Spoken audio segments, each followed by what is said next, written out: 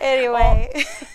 Speaking of dogs, Taylor made a good point. Later today and in the next couple of days, because we're expecting a lot of heat, please be careful with your dog walk. You want to make sure that your pooch is protecting those toe beans. You don't want to walk on the hot asphalt or concrete sidewalks. If you can walk in uh, some cooler kinds of pavements or lack thereof, the grass, for instance, or maybe along the sand of the beach where things are a little bit cooler, keep your pets children and the elderly in mind over the next couple of days. They are most susceptible to heat related illness. But we're only getting started today where temperatures are going to be on the up and up the next couple of days. And we're starting out with a beautiful sunrise from our camera in Kingsville off Highway 77 that points a bit northeast there. So we're getting a great view at the start of the day.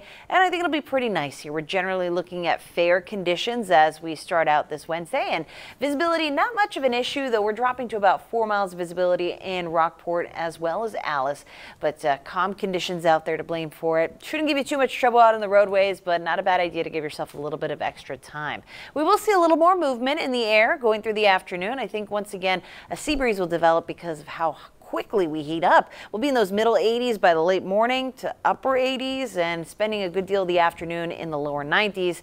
Topping out there Again, thanks to that sea breeze kind of capping off our heating for the day, but that just means an onshore flow and we're going to top it out maybe 10 miles per hour. Still, today's going to be wonderful, topping out those lower 90s. Lots of sunshine that goes until 8:24 p.m. But you still have to be careful for that feels like temperature. Once we factor in the humidity, it just feels very, very hot out there. We'll feel like the triple digits today, but as I mentioned, we're only getting started. Going into the next couple of days, our actual air temperatures are going to be well above where they would typically be for this time of the year.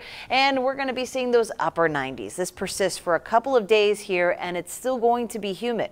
So we have to add that in there. It will feel like the middle hundreds to closer to 110 over the next couple of days. You want to make sure you're drinking plenty of water. And why is this happening? Well, we have high pressure above us. That is going to be edging into South Texas here. And with that in mind, that is going to keep the same kind of weather pattern in place at least through Monday of next week. Now, this isn't a particularly strong high pressure system, at least not yet, uh, but it is going to keep more of the same in the forecast over the next couple of days. So a couple tips to help you beat the heat. You may have already thought of these. You want to slow down, avoid strenuous activity and those adult beverages. Water is going to be your best bet there. You want to drink plenty of water. Take frequent breaks inside and eat small meals more often. That'll help your body kind of process this. And as I mentioned, check on children, pets, and the elderly. They need your support during this hot weather.